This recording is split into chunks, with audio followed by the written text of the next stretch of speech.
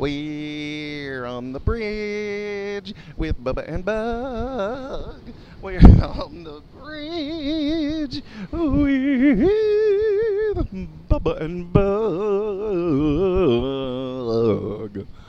Bugga, bugga, bugga, bug.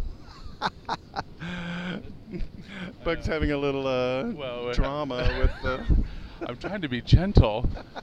Sometimes the train, my, my, my, my gentleness and the train's movements don't uh, conspire to uh, uh, uh, an interesting camera angle. Ah. Hi, everybody.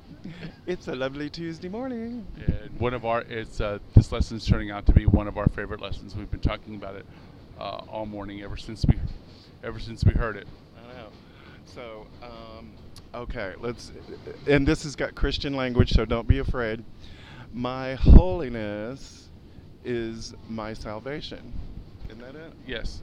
Okay, so that's cool. So we already talked about holiness as being wholeness, W H O L E. Love that. We are whole. And my salvation. Now, what is salvation? Salvation from hell. Yes, that's right. And what is hell? My thoughts. Guilt. Guilt. Guilt. It's Mhm. the world of guilt. It's Mhm. the world of I'm not good enough. It's the world of smallness. It's the world of worry. Mhm. Uh, world of anxiety. That's right. That is that that is hell. So what could possibly save you from hell? Well, you might need, and this is what this is why the the lesson's been so interesting uh, to us because it's so poignant to how I think. Uh, I could change my mind.